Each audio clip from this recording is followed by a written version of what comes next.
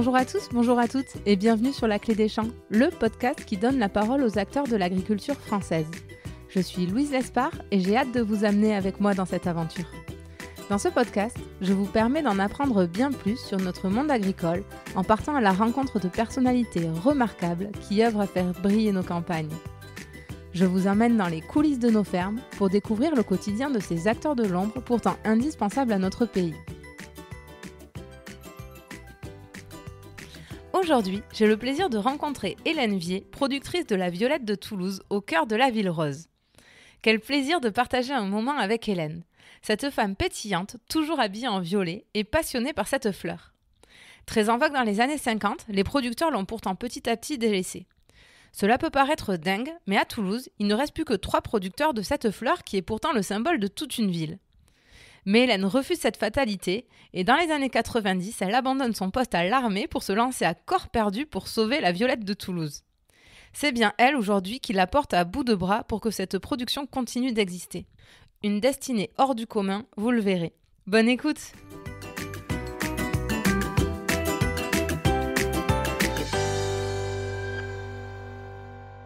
Bonjour Hélène. Bonjour Louise. Merci beaucoup de m'accueillir chez toi. Pour démarrer, est-ce que tu pourrais nous expliquer euh, qui tu es et où c'est qu'on se trouve là actuellement? Ah alors, bon, je suis Hélène Vier, euh, j'ai fondé la Maison de la Violette euh, à Toulouse bon, il y a quelques années, une trentaine d'années.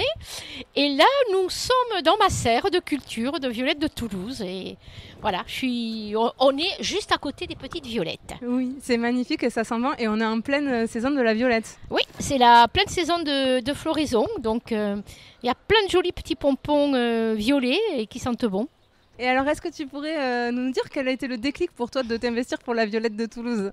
Ah alors vraiment le point de le choc, je dirais le choc, le point de départ, c'est euh, tout d'abord j'ai choisi de venir à Toulouse, m'installer à Toulouse, hein, voilà. Bon, je suis pas de loin, je suis carcassonnaise, et j'étais depuis mon adolescence collectionneuse de fleurs de violettes. Hein d'objets divers. Voilà, c'était mon hobby. Euh, j'adorais la violette. Je savais que Toulouse est cité des violettes, mais bon, j'ai pas fait exprès. Toulouse m'attirait. Oui. Euh, le soleil, euh, grande ville, mhm. étudiante qui bouge. Et puis, bon, il y avait un patrimoine violette quand même. Voilà, ça, j'ai choisi Toulouse. Et ensuite, ben, j'ai constaté qu'il n'y avait plus, presque plus rien autour de la violette, et ça m'a vraiment donné un choc. Et je me suis dit, mais enfin, mais qu'est-ce qui se passe? Euh, On dit que Toulouse est la cité des violettes, mais qu'est-ce qui se passe? On n'en voit pas. J'ai découvert l'histoire, hein, une histoire euh, très ancienne, hein. plus d'un siècle et demi de mm. culture. On en parlera de l'histoire de la violette. Mais surtout, euh, il n'y avait rien, il n'y avait aucun produit.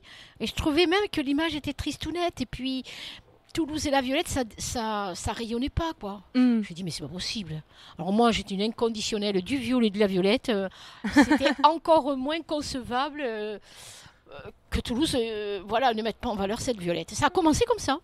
Super. Et alors, tu dis inconditionnel, au point de t'habiller en violet, j'imagine que tout le monde te fait la remarque. Est-ce que tu es habillée tous les jours en violet ah ou est-ce que c'est exceptionnel? Non, non, non, non, non. Je suis dans cet état violet depuis euh, que j'ai l'âge de m'habiller. Voilà. Mais de plus en plus. Ah, en fait, je m'aperçois que hum, dès que je vois une tenue violette euh, que je n'ai pas, ben, je l'achète. Mais je ne peux pas me retenir. C'est vrai, hein Et quelle que soit la saison. C'est beau. Et mes filles me disent encore du violet. Au moins à Noël, elles n'ont pas de problème pour les vêtements. Ah oui, non, mais là, euh, c'est euh, on renouvelle mon stock de vêtements, de sacs à main, de gants, de foulards, de lunettes, de téléphones, de d'appareils photo. de parfum à la violette, de maquillage violet.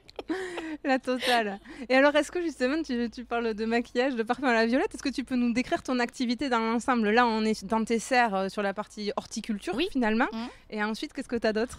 Alors, qu'est-ce que j'ai d'autre? Bien, depuis une trentaine d'années, j'ai j'ai démarré toute une filière de création autour de la violette. Alors, euh, il y a 30 ans, j'ai créé les premières senteurs pour la maison à base de, sur le thème de la violette et, ça, et qui sentaient bon la violette, hein, ce qu'on appelle les pots pourris. Mhm.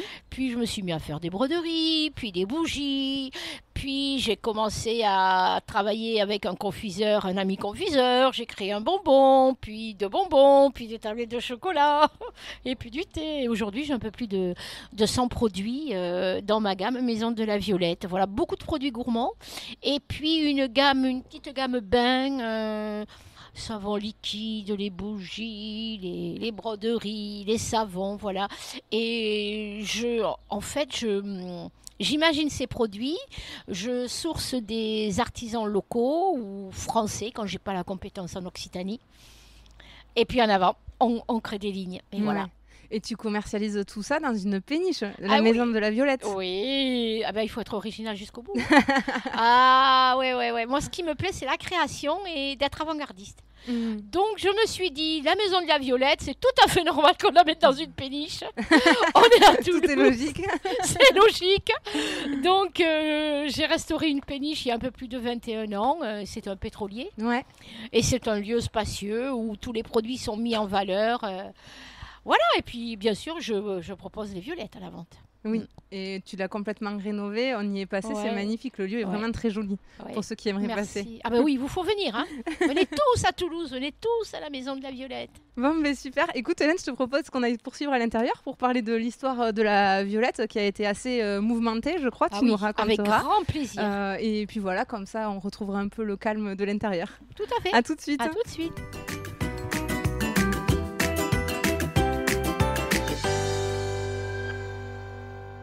Bon, Hélène, nous voilà revenus à l'intérieur dans ta salle de réception. Je Mhm. crois que tu as entièrement euh, rénové.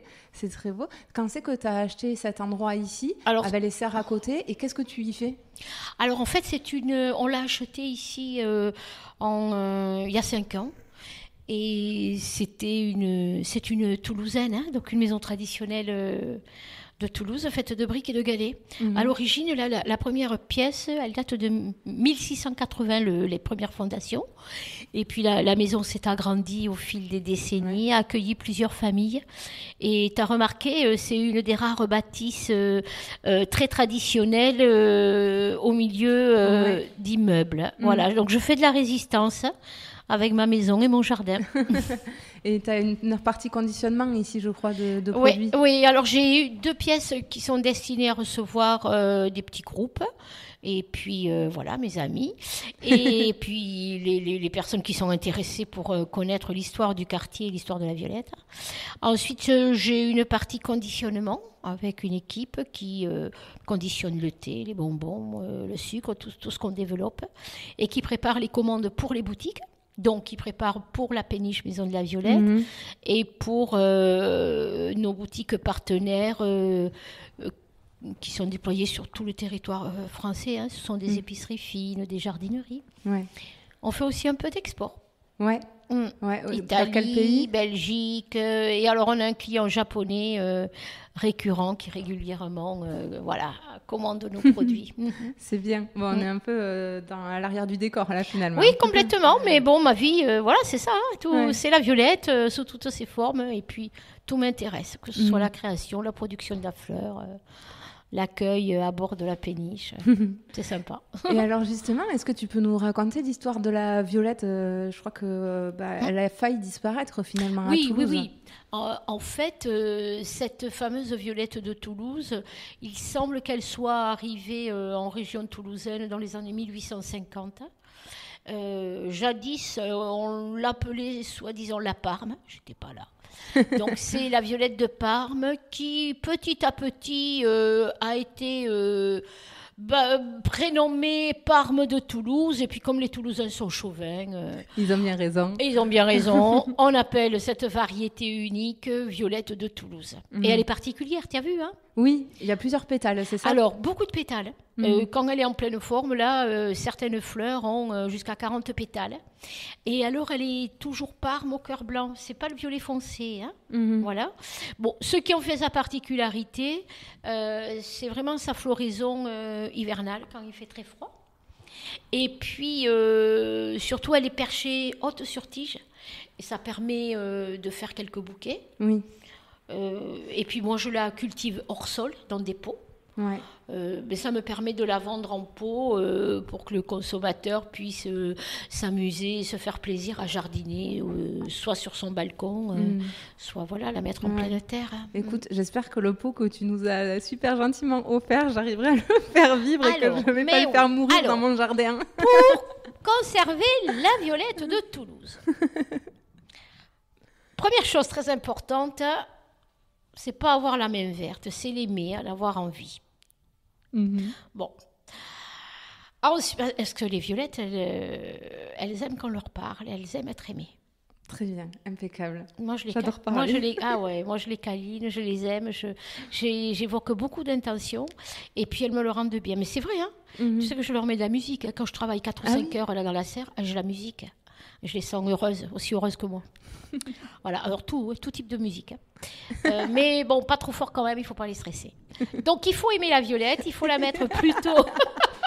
mais c'est vrai Non, mais je fais complètement confiance. je sais. Ensuite, bon, c'est une plante qui, euh, qui craint le gros gel, vraiment, des, des Mhm. périodes de gel prolongées, on va dire. Euh, qui aime euh, une terre, on va dire, euh, légère, bien drainante, euh, abritée du vent, et euh, il ne faut pas la mettre en plein soleil. D'accord. Donc, elle peut avoir un petit peu de soleil léger le matin ou en fin d'après-midi, mais plutôt à l'ombre. Mhm. D'accord? Et si vous n'avez pas la chance d'avoir un jardin, c'est pas grave. Vous, vous l'aimez dans, une, dans un grand pot, dans une belle jardinière. Voilà. C'est romantique. hein? Ouais, oui. Ah, mais attends, la, la violette, c'est symbole de d'amour, de romantisme. C'est c'est l'époque du 1900-1950. Attends, Mhm. on draguait avec des petits bouquets de violettes. on se faisait, les hommes, les messieurs, se faisaient par- pardonner en offrant un bouquet de violettes. Eh bien, avis à nos auditeurs qui euh, célibataires en tout cas qui ont du mal à rencontrer du monde en ce moment à cause des restaurants et des cafés. Il n'y a que ça. Vous photographiez une violette et vous l'envoyez à, voilà, à vos bien-aimés ou celles que vous aimeriez bien aimer. Et alors tu le disais, euh, le pic de la- la vraie mode de la violette, ça a été en 1950 et le pic de production euh, s'est trouvé à ce moment-là. Et oui, oui, oui, oui, oui. Ben, disons de 1900, euh, 1920, après la, après la Seconde Guerre aussi, oh, c'était d'abord c'était la seule fleur qu'on trouvait en France chez les fleuristes. C'était cette fameuse violette qu'on était capable de faire fleurir l'hiver à Toulouse. Alors c'était des maraîchers. hein, qui D'accord. produisaient la violette. Il faut savoir qu'à Toulouse, euh, le, dans ce quartier-là qu'on appelle La Lande, qui est plutôt vers le nord de la ville de Toulouse, hein, et alors ce quartier, les communes euh, environnantes euh, positionnées au nord de Toulouse, bénéficiaient d'une bonne terre, de culture maraîchère, donc elle était bien retournée, euh, alimentée, voilà. Et euh, donc les maraîchers vivaient bien de la vente de leurs légumes euh, presque toute l'année, mais l'hiver c'était dur. Et quand cette variété est arrivée, ils se sont dit, mais puisqu'elle fleurit l'hiver, Ouais. peut-être qu'on pourrait la vendre en bouquet. Et, et ça a commencé comme ça. Et ça a été pour nos maraîchers un complément d'exploitation Mhm. qui leur a permis de faire un beau commerce l'hiver. Ouais. Il y a eu jusqu'à 600 familles hein, qui Ah ont oui. vécu de la vente de la Ah, violette.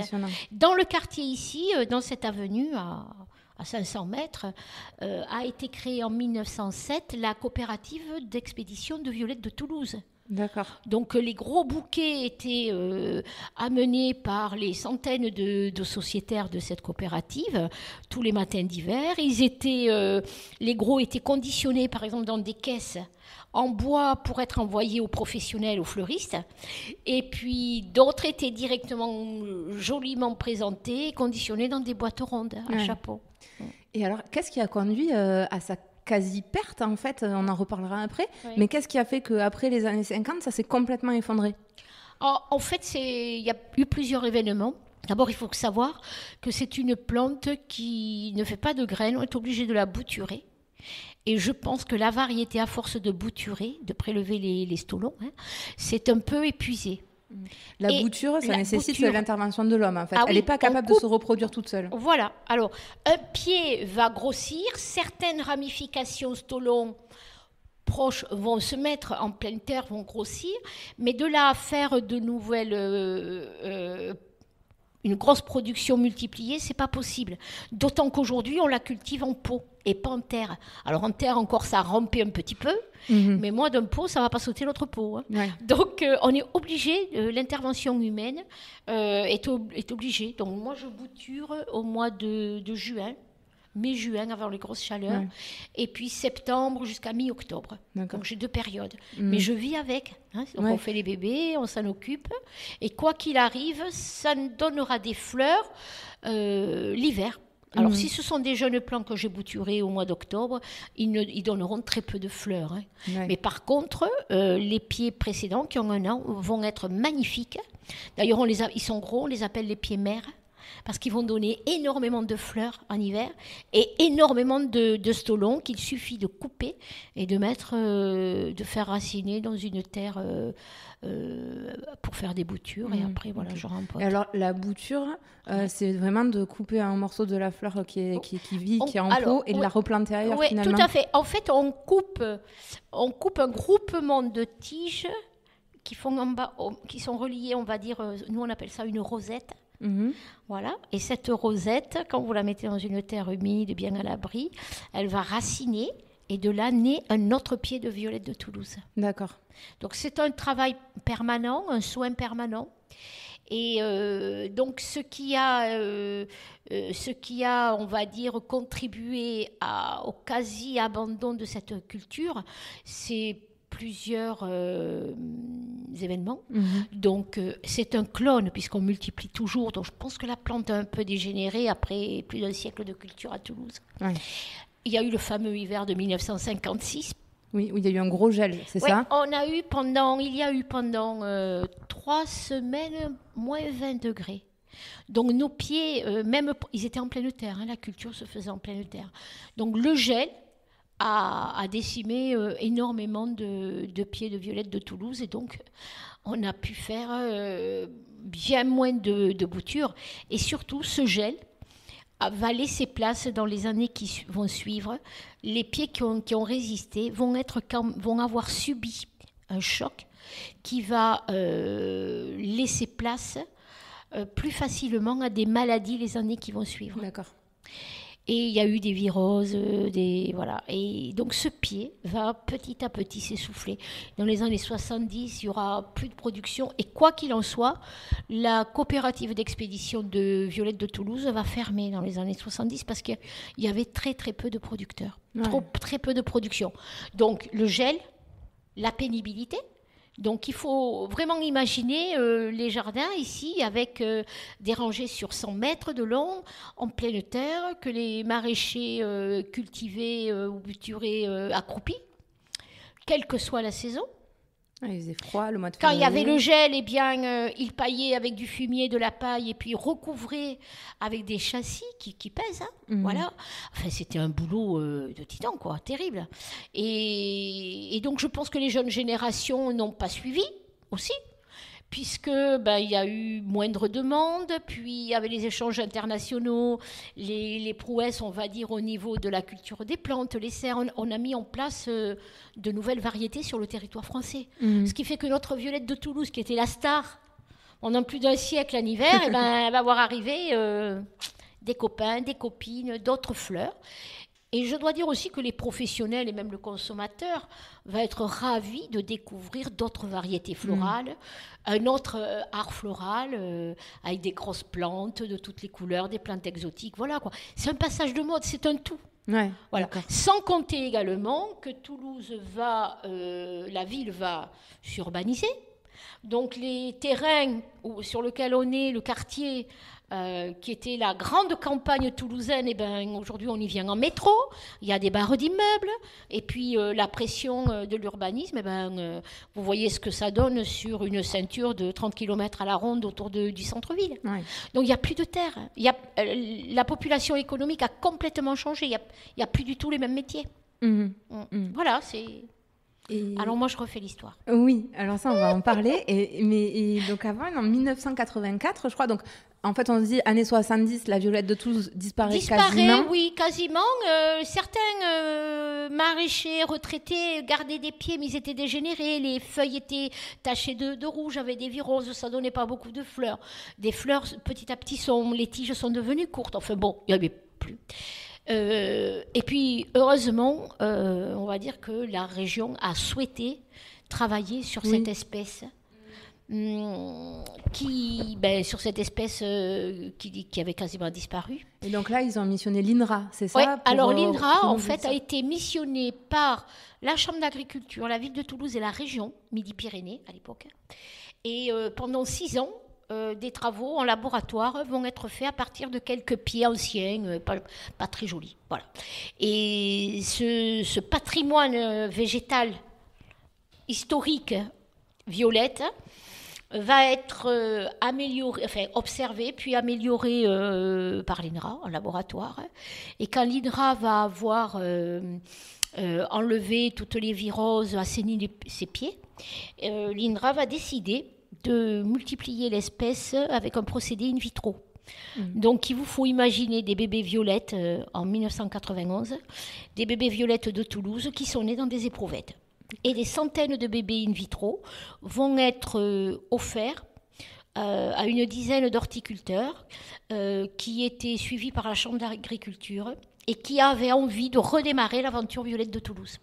D'accord. Voilà. Donc ces horticulteurs vont les cultiver hors sol, puisque l'INRA a mis au point cette culture qui a de nombreux avantages. D'abord, euh, s'il y a une maladie, ça permet d'isoler les, plus facilement les plants euh, attaqués par des, des, des, virus ou araignées rouges, etc., ou une autre maladie.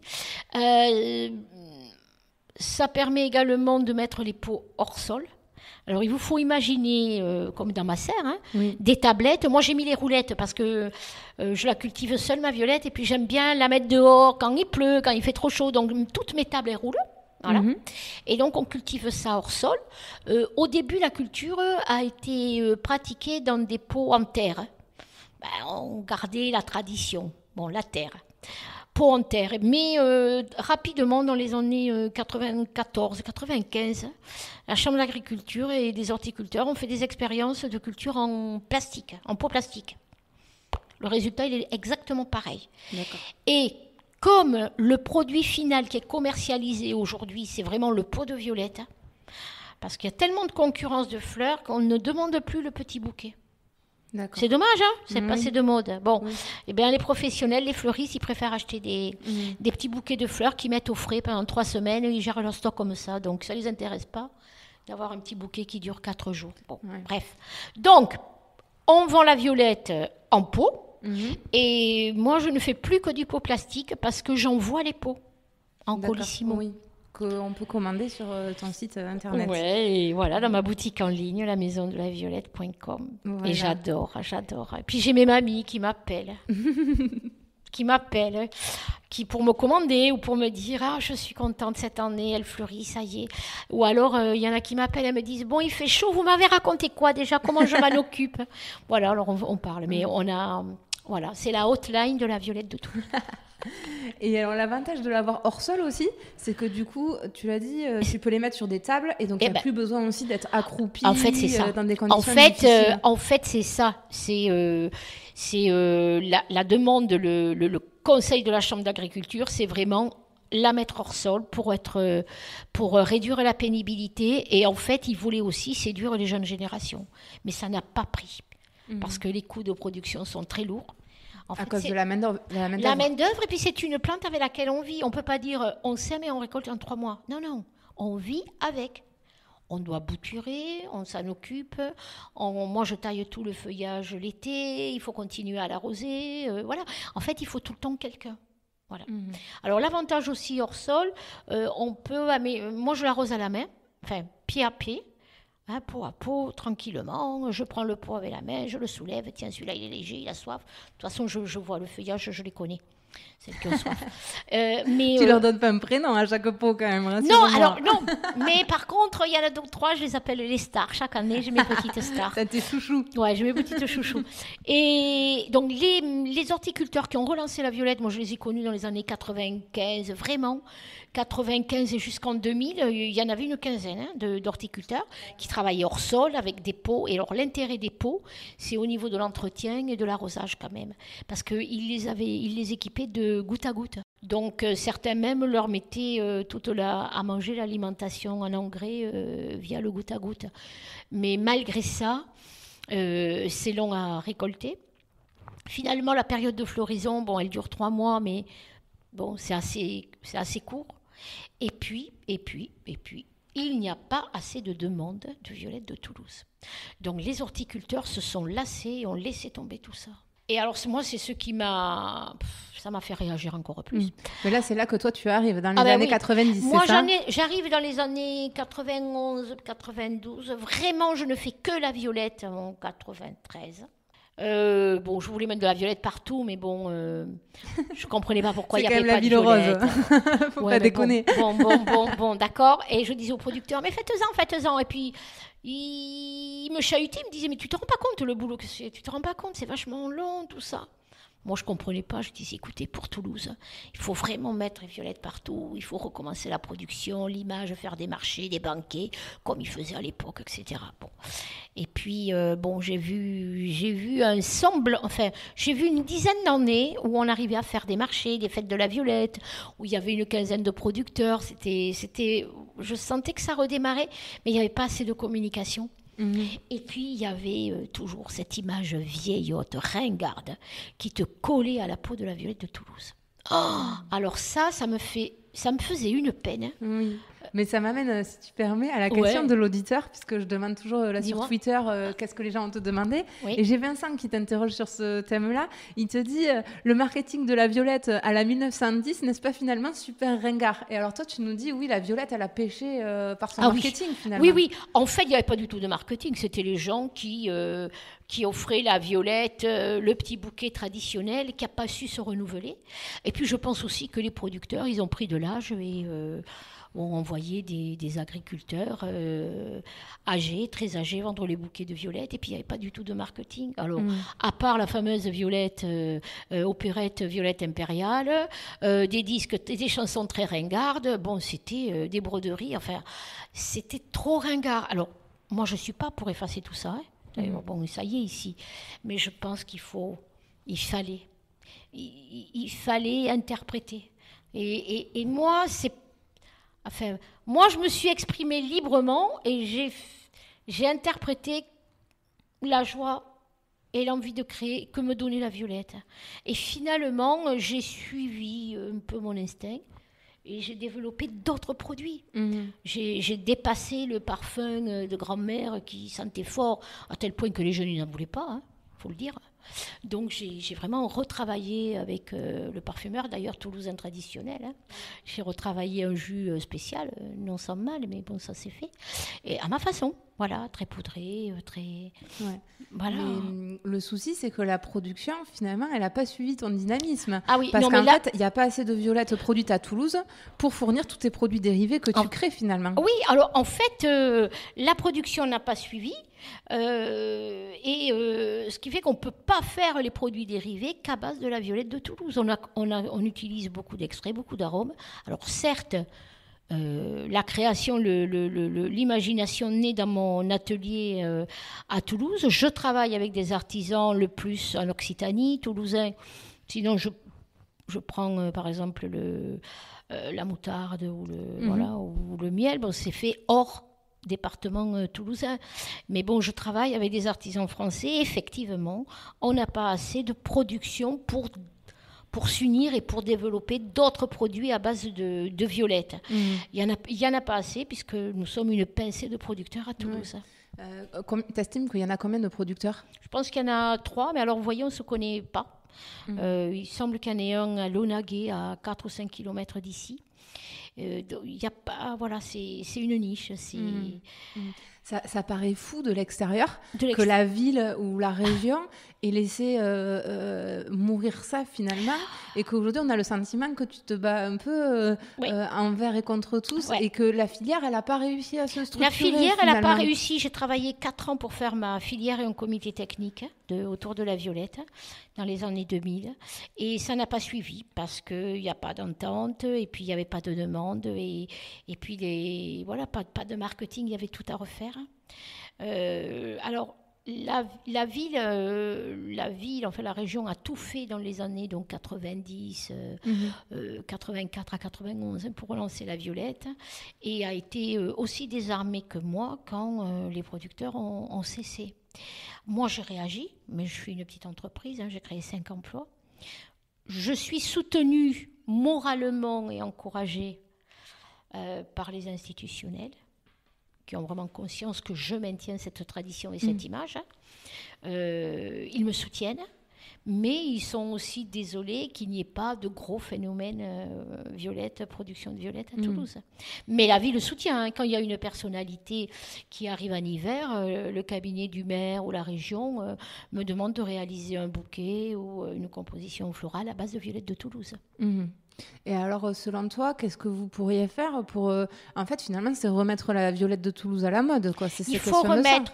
En fait, je pense qu'il faut faire un gros marketing pour remettre la violette de Toulouse à la mode, mais il faut aussi trouver à côté des, producteurs. Des professionnels, des producteurs. Et, aujourd'hui, on se heurte encore à des coûts de production. Hmm. C'est tout. À l'époque, les anciens le faisaient, ils vivaient en famille. Il y avait la population familiale sur place. Donc plutôt que de rien vendre et de crever la dalle en hiver, eh bien, ils faisaient la violette. Mm. Et puis il n'y avait pas d'autres fleurs pour les concurrencer en hiver. Aujourd'hui, il y a tout. Il y a tout. Mm. Alors, bon, moi, je, heureusement, j'ai de l'imagination. Ça me fait, ça me fait peine. Hein, euh, euh, je suis très heureuse de créer, mais c'est vrai que j'ai la nostalgie euh, de ces années-là où il y avait beaucoup de producteurs. J'ai la nostalgie, moi, des années 90 euh, à 2000 où euh, tous les hivers, j'allais chez plusieurs producteurs, les aider à faire des bouquets, où on faisait les marchés ensemble. Moi, je vendais mes senteurs et mon linge brodé. Eux, ils vendaient la violette. Bon, on faisait des, stands dans des galeries commerciales. Pour la Saint-Valentin, on faisait un stand à l'aéroport de Toulouse. Oui, j'ai des photos, mais j'ai la nostalgie. Mm. Mhm. Et ça m'amène à, la minute économie du podcast. Euh, aujourd'hui, un producteur qui ferait de la violette, il gagnerait pas sa vie. En fait, les coûts de production sont trop élevés. Non, en fait, euh, les coûts de production élevés. C'est saisonnier, la vente des violettes. Or, il faut s'occuper de la plante tout, toute l'année. Mmh. Il faut pas qu'elle crève, puisqu'il faut qu'elle soit en bonne santé pour pouvoir faire des boutures. Donc, euh, voilà. Ok. Et alors toi, euh, tu dis j'ai la nostalgie, et à un moment, les producteurs, ils t'ont dit c'est compliqué, ça prend du temps. Et alors toi, c'est pour ça que tu as voulu, tu t'es dit, bah, oui. vas-y, je vais, planter mes pieds. Moi, j'ai pas supporté. Alors moi, en fait, j'ai pas, j'ai été très triste, j'ai été très choquée, et je n'ai pas supporté qu'il n'y ait plus de production. Et je me suis dit, mais ben, il va falloir en faire, quoi. Mais euh, bon, c'est pas mon métier. Je suis pas d'une famille de producteurs. Bon, alors certains m'ont aidé, certains m'ont livré en en fin de leur vie leur secret, on va dire. Et ça, c'est vrai. Parce qu'au début, il ne voulait pas me dire comment il a cultivé. Et puis, euh, j'ai un, producteur, un ami, qui, qui m'a donné euh, ses pieds euh, en 2005, lorsqu'il a arrêté sa production. Et puis, depuis, je bouture. voilà. Je me fais aussi aider pour multiplier par des, par des, des, professionnels qui savent multiplier, voilà, et je fais tout pour sauver la production. J'ai également euh, tout un fonds de collection euh, que m'a offert, euh, que m'ont offert des chercheurs, des livres d'horticulteurs. Et bon, ben, je pioche des astuces pour cultiver. Voilà. Mm. Mm. Mais un jour, tu partiras à la retraite Ah, eh oui, bientôt. Pareil. oui, Qu'est-ce qui va ben, se passer pour la Violette alors, de Toulouse? Ça, ça me, je ne sais pas. J'espère. alors, je consigne tout ce toute mes, mon guide de bonne pratique, on va dire, pour cultiver la violette. Hein. Euh, ma fille sait la cultiver, euh, elle manquera de temps, mais j'espère que l'entreprise sera, sera de plus en plus euh, positive et saine pour pouvoir embaucher. Mhm. Je pense que ça passera par des alternants de l'horticulture qui, eux, ont des astuces et savent. Euh, et puis aider avec le patrimoine que, végétal que je laisserai et, et, ce que je transmettrai à ma fille. Voilà. Ta fille euh, euh, a envie de reprendre l'entreprise? Oui, oui, oui. Elle est, elle est, elle est, née, elle est née là-dedans. elle l'a pas toujours aimé puisque l'entreprise, Violette lui a pris sa maman quand elle était jeune. Et puis après, elle est revenue au galop et elle s'éclate. Voilà, elle est toujours là. Et alors elle, euh, alors elle, elle fait, elle a mis, euh, on va dire entre guillemets, euh, la Violette de Toulouse et surtout nos créations sur orbite, hein, puisque c'est Madame réseaux sociaux, communication. Mmh. Ça c'est extraordinaire pour moi de voir ça, c'est fabuleux parce qu'on manque de communication en fait. Et puis on est autonome pour donner l'image que l'on veut. Donc on contribue à une autre image, mmh. enfin à la vérité quoi, hein, au quotidien et à ce qu'on veut en faire, en faire nous de la violette. Et c'est pas trop de pression pour ta fille euh, d'être à la hauteur de ton investissement? Eh, Il y a eu des périodes euh, un peu de pression, c'est sûr. Mais euh, écoutez, qu'elle prenne du plaisir comme moi j'en prends. Et puis, bon, il faut faire de son mieux. Et puis, voilà, ça ira, ça ira. On va le faire. On n'en doute pas, et c'est déjà super qu'il y ait une succession pour le patrimoine de Toulouse, quoi. Oui, oui, et puis je le consigne. Hein. Mm. Donc, euh, dans un ordinateur, j'ai des écrits, j'ai des bouquins. Voilà, donc ça, ça va être le chantier de 2021, euh, de tout euh, organiser et de tout digitaliser pour faire une sorte de patrimoine vivant. Mm pour, euh, pour que le public ait accès, qu'on soit capable aussi de, de perpétuer ce, cette tradition. Voilà.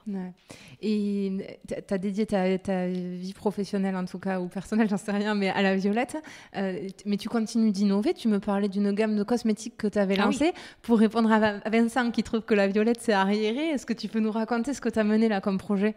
Alors oui, oui, oui. Moi... Euh, ça, c'est un, le projet. Allez, c'est un autre projet de ma vie que j'ai entamé il y a quelques années. Euh, en fait, j'ai développé énormément de produits à base de violette, ou, voilà, sur le thème de la violette avec plein d'artisans, hein, des confiseries, euh, des senteurs, etc. Mais je rêvais d'explorer la plante et la valoriser et percer des secrets. Comme beaucoup de plantes. Euh, euh, sont utiles euh, ou euh, en alimentaire ou en cosmétique. Je me suis dit, mais bon sang, on n'a jamais cherché ce que cette violette de Toulouse voilà, contient. Et l'aventure a commencé, de recherche a commencé il y a huit ans.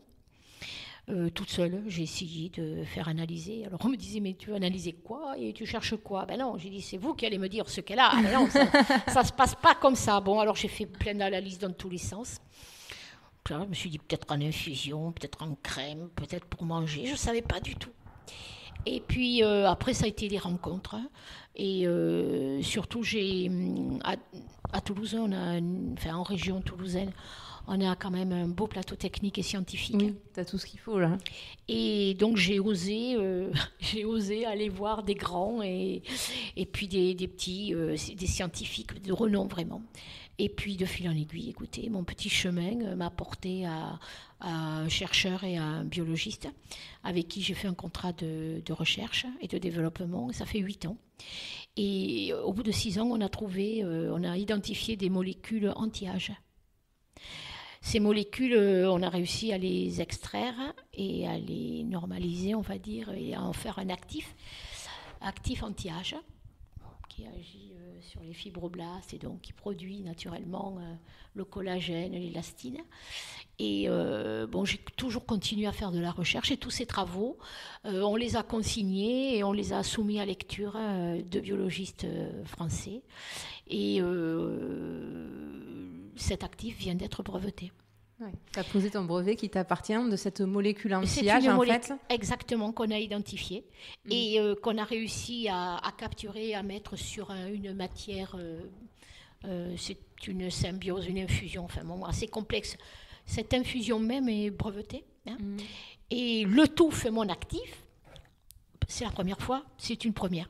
Et donc là, j'ai développé toute une gamme anti-âge pour, pour femmes. Ouais, qu'on a sous les yeux, de, des crèmes, quoi. Alors les crèmes, alors déjà c'est tube. Booster de beauté, Ouais, tenseur, le sérum. lisseur, ouais, Est-ce que sérum. j'ai la crème de visage quotidienne de beauté, Oui. tenseur et hydratant Ça c'est génial, c'est la bébé crème pour La donner bébé crème. bonne mine et euh, c'est lissant. Et ensuite euh, deux produits corps, euh, une crème exfoliante. Mhm. Et puis la crème corps, voilà, pour être belle. Et puis voilà, moi mon, mon but, et c'est pour ça que ça me fait plaisir, mon but en fait c'est de faire une, de donner une vie, une image à cette violette exceptionnelle. Mhm. En fait c'est ça, pour euh, gommer son son aspect vieillot, mais surtout pour dire euh, c'est un patrimoine euh, végétal qu'on a depuis un siècle et demi. Donc déjà, euh, c'est exceptionnel et il faut qu'on conserver. Et je pense que pour donner une belle image, il faut faire des choses, des, développements exception. Mm. Et bon, là, euh, c'est un domaine complètement nouveau pour moi. Je dois dire que j'ai passé des années sans comprendre ce que Ouais. les chercheurs me disaient. C'est incroyable de s'être lancé euh, là-dedans sans Ah oui, non, mais là, j'ai souffert. hein. Franchement, j'ai souffert. j'ai souffert à tout point de vue. Euh, donc, j'ai dû faire des pauses parce que financièrement, c'est énorme pour mon entreprise. Heureusement, la région a eu connaissance de mes travaux et m'a aidé au niveau, euh, m'a soutenu au niveau financier, mais surtout au niveau euh, conseil et, ingénierie. Et voilà. Eh bien, écoutez. euh, Ça, c'est un vrai euh, nouveau bébé, quoi. Ah oui, c'est un nouveau bébé. Alors, qui s'appelle Jardin Confidentiel Mhm. recette de beauté. Voilà, je l'ai rêvé, mais franchement, quand je l'ai rêvé, en fait, il y a huit ans, je ne savais pas du tout ce que j'allais voilà, en faire, mais je voulais percer les secrets de cette violette qui est exceptionnelle. Mm. C'est génial. Et dans la lignée de l'innovation, mmh. euh, j'ai l'impression que dans les assiettes des grands chefs, euh, ah la fleur revient à la mode et la ah. violette, elle a toute sa place là-dedans, non? Oui, complètement. Alors ça, c'est tout nouveau. Je dois dire que je suis à l'origine de tout ça. Oh, j'ai démarré il y a longtemps, hein, il y a... Oh là là, il y a presque 20 ans. oh là là là là là là là Alors le premier chef à Toulouse qui m'a vraiment aidé en utilisant euh, la liqueur à la violette et puis mes, mes fleurs cristallisées, c'est Dominique Toulousy, étoilé Michelin, euh, jardin de l'Opéra, place du Capitole. C'était le plus grand chef de Toulouse. Tout le monde euh, allait, tous les grands allaient chez lui. Et euh, il m'a fait, alors il a fait un soufflé à la violette, un dessert Oh, extraordinaire. Et puis on a fait beaucoup d'ateliers, d'ateliers pour ma, ma- ma clientèle. hein. Voilà. Donc ça c'était super. Et puis j'ai attrapé, euh, j'adore cuisiner. Alors moi je suis pas issue d'une famille d'horticulteurs, mais mon ADN à moi c'est chef ou pâtissier. Alors là quand même. Fallait pas se louper. Il fallait pas se louper. Et puis ça m'intéresse énormément. Et donc, euh, je travaille avec énormément de chefs. Là, hier, j'étais avec euh, un des chefs pâtissiers qui a travaillé pendant euh, 15 ans chez Guy Savoie à Paris. D'accord. Je travaille avec euh, Christophe Felder, grand chef pâtissier aussi. Après, tous les, tous les chefs, beaucoup de chefs en région. Et je crois, euh, pff, les- au moins les trois quarts chefs étoilés de France. hein. Ah ouais, c'est bien. hein. Donc ça, c'est pour moi des aventures. Et puis, euh, ça m'intéresse parce qu'ils me forment. Et puis, ils me font des surprises que je peux raconter à mes clients. Ouais. Alors, c'est super. Ça donne énormément de sens à ma vie aussi. Ouais. Et ça valorise ton produit. Ça valorise mon produit Et ton travail, et l'image de la violette. Ouais. Mon travail. Et puis, bon, ça, ça, euh, oui, ça valorise, mais ça, me, ça fait que j'ai un travail super intéressant. Et que tu manges bien. ah, ça oui. Ah, ça oui. Quand, Et- ouais, quand il m'appelle, il me dit Allez, tu viens, j'ai inventé ça. Il y en a qui m'appellent, ils me disent Allez, ma chérie, j'ai un dessert pour toi, tu vas craquer. Alors je viens, voilà. C'est devenu, beaucoup sont devenus des amis, quoi. Mhm. Euh, c'est, la création, c'est, c'est un lien fort hein, entre les humains. Donc ça, c'est bien. Mm. Ouais, ouais c'est un vrai partage. Tu m'as pas parlé d'un truc que j'ai vu sur internet. Euh, Ah. Je crois que avant de faire de la violette, tu étais dans l'armée. Oh là là Mais alors, comment, Tu as comment creusé, ça là, se hein. passe de, de passer de l'armée à la violette Alors, tout naturellement Mais alors, le plus naturellement possible C'est incroyable. Alors, ça paraît incroyable quand tu le dis comme ça. Je te disais que moi, les gens qui m'entouraient, euh, mes copines de, de lycée, de collège, bah, ça les étonne pas du tout, parce que je leur cassais les pieds avec, avec la violette. Déjà. Et euh, non, j'ai été heureuse dans l'armée, hein, j'étais assistante sociale, j'étais très heureuse. Puis, boum, un matin, euh, dès que je suis arrivée à Toulouse, mais alors, ça n'avait plus du tout de sens d'être dans l'armée. Il me fallait faire de la violette. Mais bon, ben voilà, quoi. J'ai démissionné, je suis passée à autre chose. Mais ben, ça, c'est un parcours de vie, quoi. Mais ça s'est fait naturellement. hein. Mhm. Je, voilà. Bon, mais génial. Écoute, j'étais trop contente de découvrir ton parcours, c'était hyper intéressant. Et on va passer aux questions de, de fin. Euh, la première, c'est qu'est-ce qui te rend à toi vraiment fier de t'investir comme ça euh, pour la Violette de Toulouse? C'est quoi qui, qu'est-ce qui te motive? Pourquoi tu fais tout ça? Bah déjà, ça a permis à la Violette de, de passer les, la- les décennies. Euh, on est capable aujourd'hui d'accueillir les visiteurs en montrant de la Violette et en expliquant ce patrimoine. J'ai maintenu ce patrimoine. Je pense lui donner une belle image. Ce qui me rend fier, c'est que j'ai quand même créé des emplois. Euh, 50 et j'ai créé euh, euh, des, laines- des, on va dire, des chaînes de production chez 30 artisans qui ne faisaient jamais la violette. Un chocolatier, un confiseur, un fabricant de thé, un fabricant de moutarde, etc. Donc ça, c'est les emplois. Qu'est-ce qui me rend fier hein, Pff, C'est cette vie de, de partage et pour moi de découverte et de- d'acquis, d'expérience. Voilà. Tu me disais euh, avant l'interview, j'ai eu une vie gratifiante. Ah ça oui. Ouais, je me suis pas aperçue, ça a filé. Et puis alors, euh, bon, j'ai fait tout ce que j'ai voulu. Et puis j'ai voyagé en toute liberté. J'avais toujours une valise chez moi, prête à partir. J'ai eu la chance de faire euh, tous les continents pour faire des expositions ou des, expériences avec des chefs pour faire des inaugurations euh, à Moscou, euh, pour accompagner la ville de Toulouse dans une des villes jumelées à Atlanta, où j'ai fait tout un repas et euh, le hall de la ville, euh, l'hôtel de ville d'Atlanta, euh, avec une grande exposition murale sur le, la violette de Toulouse, le- les producteurs, les produits dérivés, et puis le repas, j'avais tout décoré avec des bouquets de violettes, des nappes violettes, enfin voilà. Euh, ouais, pff, ça c'est génial quoi. T'as beaucoup donné à la Violette, mais elle te l'a bien rendu. Exactement. Donc voilà, c'est c'est super. Ça me donne une énergie, je me sens utile. Et puis on découvre, quoi. Ça donne beaucoup de sens à, à ma vie. Mais c'est vrai que le point de départ, je voulais sauver ce patrimoine. Et puis comme j'ai choisi de vivre à Toulouse, je voulais donner, redonner cette belle image de la Violette à Toulouse. Je voulais donner une image. Voilà. Donc euh, voilà, on en parle et hum, quand je vois les visiteurs euh, venir de, de- de régions lointaines, et alors je dois dire de contrées lointaines, parce qu'ils ont lu dans un guide international qui avait la Violette de Toulouse, la Maison de la Violette, ben vous savez, euh, ça me fait, c'est bien, je suis contente. Parfait. Et ma deuxième question, c'est est-ce que tu pourrais nous donner un truc euh, pour étaler notre science au prochain repas entre amis euh, quand on parlera de Violette sur un malentendu? Quoi, tu veux une astuce de cuisine? Ouais, ce que Pas, tu as, ou une ou, euh, anecdote. une euh, anecdote. Un truc. Alors, d'abord avec euh, Sa Majesté, la Reine Elisabeth. Ah, quand même. quand même. hein. On n'a pas fait un tête-à-tête, mais quand même, euh, j'ai j'ai passé un petit moment euh, d'accueil très agréable avec elle, qui parle un parfait français et qui vraiment connaissait l'histoire de la Violette de Toulouse et qui a voulu honorer Toulouse. Elle, a- elle est arrivée place du Capitole dans sa visite officielle qu'elle rendait euh, à la ville de Toulouse. Elle est descendue de sa voiture habillée entièrement en violet. Génial. C'est trop bien. Bon, Ouais. son sac à main était noir, mais la robe, oh, la robe, le manteau, le chapeau d'un violet vif, ah, on ne pouvait pas la manquer. Et en fait, elle était toute fière de s'être mise aux couleurs de la ville. Alors vous vous rendez compte Bon, On lui a remis, on était des, des passionnés, on lui a remis un bouquet de violettes, euh, des, des présents à la violette. J'ai remis un livre également que j'avais, que, que je venais juste d'écrire, et autour de la violette. Et puis, ben, j'étais fière, vous pensez? Ouais, ouais. Top. Et ma dernière question, c'est Mhm. où c'est qu'on peut te contacter ou alors euh, trouver tes produits pour les commander, les pots de fleurs, les bonbons le- Bah, c'est très simple. Vous me téléphonez. Vous me téléphonez, euh, la maison de la Violette à Toulouse, mais euh, je fais de la vente en ligne, la maison de la Violette.com, et où vous nous adressez un mail si vous êtes dans une région, on vous dira s'il y a un distributeur.